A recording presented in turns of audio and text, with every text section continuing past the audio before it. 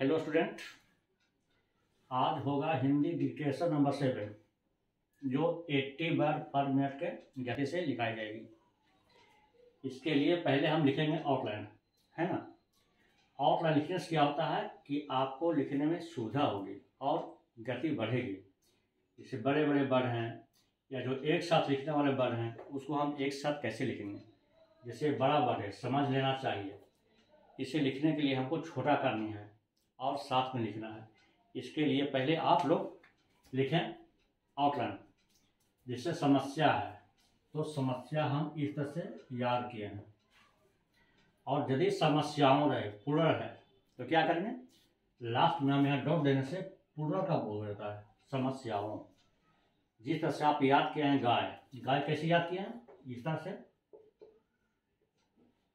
एक गाय हुआ। यदि हमको गाय गाय इस तरह से किए हैं, लेकिन यदि हमको गायें लिखना है तो क्या करेंगे? जब पुलर हो गया तो जहाँ पर पुलर बनता है तो वहाँ पर लास्ट में हम बिंदु लगाते हैं तो गायें। इसी तरह यहाँ समस्या समस्या से समस्या हो तो हम बिंदु लगा के पूरा बनाएँगे। और हमें लिखना है आधुनिकीकरण तो हम लिखेंगे इस तरह से शॉर्ट हैंड में, आधुनिकीकरण। आम चुनाव है तो पहले आम को पूरा लिखेंगे। और चुनाव है है ना? तो चुनाव के लिए क्या करेंगे? चार से इसको काट देंगे। तो क्या हो गया? आम चुनाव, है ना? लेकिन यहाँ पर क्या है? आम चुनावों, यानी चुनावों के लिए क्या करना है? लास्ट में डॉट दे देंगे। तो आम चुनावों हो जाएगा। अखिल भारतीय कांग्रेस कमेटी, है ना? इसको आपको इसे हमें साथ लिखना है। बड़ा है, इसको छोटा बनाने के लिए लिखेंगे। अखिल भारतीय कांग्रेस इसको टच से काट देंगे, कमेटी हो जाएगा।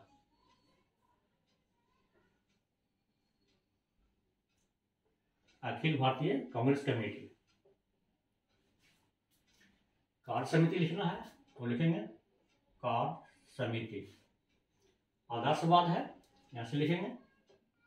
ये हो गया आदर्शवाद।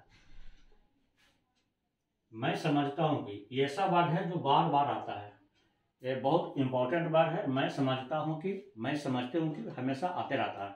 और जो चार वर्ड है, मैं समझता हूँ कि चारों हमेशा साथ में आता है। तो हम इस तरह लिखेंगे, मैं याद किए हैं। मैं याद है? ना वर्ड मीनिंग सबके। मैं समझता हूँ कि। ये क्या हो गया? मैं समझता हूँ कि। लेकिन यदि रहे आपको, मैं समझती हूँ तो क्या हो जाएगा? यदि इसके जगह पर समझती कर देंगे।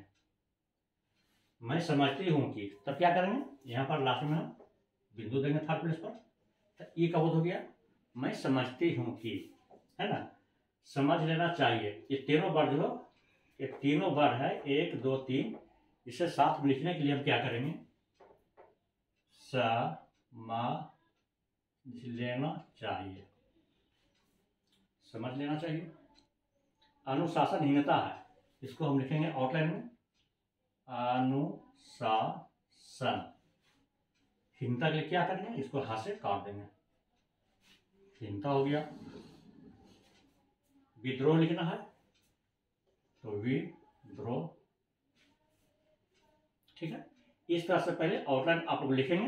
लिखने के बाद आपको डिटेशन लिखने में बहुत सुविधा होगी। बहुत तीव्र गति से अभ्यास स्पीड बढ़ेगा। मवेशियों है। मवेशियों करनी चाहिए, साथ में लिखेंगे। करनी चाहिए। ये क्या हो गया? करना चाहिए। लेकिन हमको क्या करना है? करनी चाहिए। नी के लिए क्या करेंगे? लास्ट में हम डॉट लगा देंगे। कहती हैं कि, अब यहाँ भी आ गया। कहती हैं कि, ये सब जो भी वर्ड है, जिस वाक्य के अंत में ता है ता है, ती है, ता था, ती थी, ते थे, लगा रहे तो उसके साथ में ही व्यंजन को, तीनों को साथ में ही लिखा जाता है। अब हम इसको लिखेंगे कहती है कि यदि तीनों को साथ में जोड़ना। तो देखिए, बहुत सिंपल सा होगा, छोटा छोटा सा बनेगा। ये कहता है कि, क्या लिखे? कहता है कि।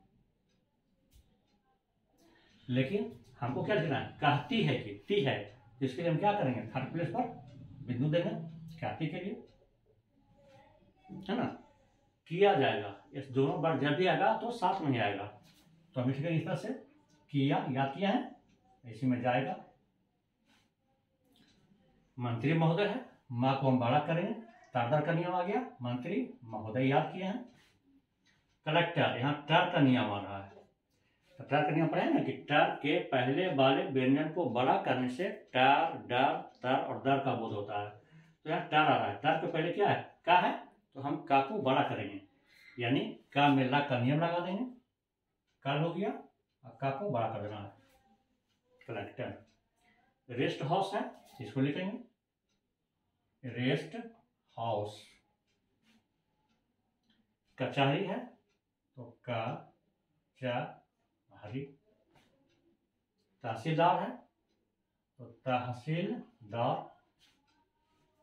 भ्रष्टाचार लिखना है तो इसी तरह से लिखेंगे। भ्रष्टाचार किया जाता है किया जाता है।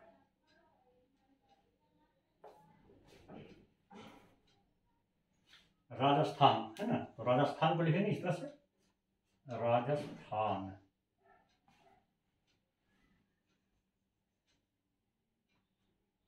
ठीक है?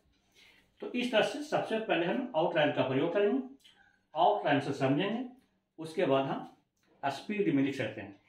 इसमें हमें स्पीड लाने में कोई टाइम और कोई समय नहीं लगेगी। पहले इसे आउटलाइन लिख लीजिए।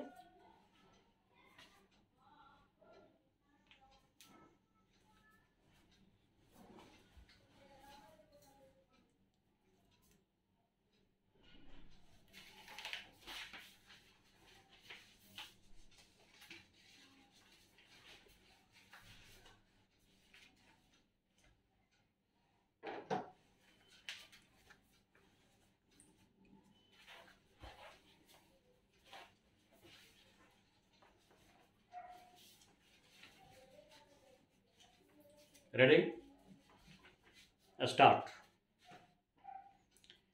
अध्यक्ष महोदय, राजस्थान में जनता को बड़ी कठिनाई है। वहाँ सूखा पड़ा हुआ है। मवेशी मर रहे हैं। ऐसे जो स्थान है, वहाँ आपको कदम उठाने चाहिए। वहाँ लोगों को तथा मवेशियों को खाने के लिए देना चाहिए। उनकी सहायता करनी चाहिए। अगर आपने शहरों का ही ध्यान रखा और देहातों की समस्या व किसान की समस्या को हल नहीं किया तो भविष्य में बड़ा संकट पैदा हो सकता है। जब मैं अपने क्षेत्र में कार्य करने के लिए जाती हूँ तो जिन लोगों ने वोट दिया होता है और जिन्होंने नहीं भी दिया होता है, वे भी शिकायत करते हैं कि जब वोट का समय आता है तब तो आप कहती हैं कि लगान माफ़ होगा, गल्ला सस्ता होगा। गाय भैंस के लिए घास का प्रबंध होगा, लेकिन हो तो कुछ भी नहीं रहा है। अंग्रेज़ों से जब हमने राज प्राप्त किया था, उस समय नारा लगाते थे कि लगाम माफ़ होगा। नहरें खोदी जाएँगी। गाय भैंस के लिए घास का इंतज़ाम किया जाएगा, लेकिन कुछ नहीं हुआ। लगान भी दुगना बढ़ गया है। जनता में इन सब बातों को लेकर बड़ा असंतोष है।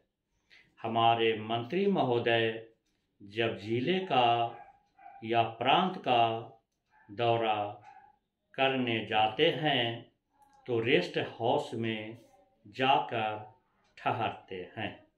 देहातों में जाएँ तो उनको असली हालत का पता चले, लेकिन वे तो रेस्ट हाउस में जाकर ठहरते हैं, ताकि कहीं उनको लू न लग जाए। इसलिए मैं निवेदन करती हूँ कि उनको गाँव में जाना चाहिए। वहाँ जाकर उनको किसान की कठिनाई को समझना चाहिए। उनकी कठिनाई को दूर करना चाहिए। किसान इस समय बड़े भयभीत हैं। उनकी तरफ़ बहुत सा रुपया पड़ा हुआ है। तकाबी का, बीज का, लगान का, बैल का इत्यादि। कलेक्टर या तहसीलदार को उनको आज बहुत परेशान कर रहे हैं। उसके बैल नीलाम किए जा रहे हैं। ज़मीन नीलाम की जा रही है। उसको कचहरी में ले जाते हैं और पटवारी, तहसीलदार किसानों को जिस तरह से परेशान करते हैं, उसका लेखा मैं नहीं दे सकती हूँ। उसका मैं वर्णन नहीं कर सकती हूँ। आज भ्रष्टाचार का ही बोलबाला है।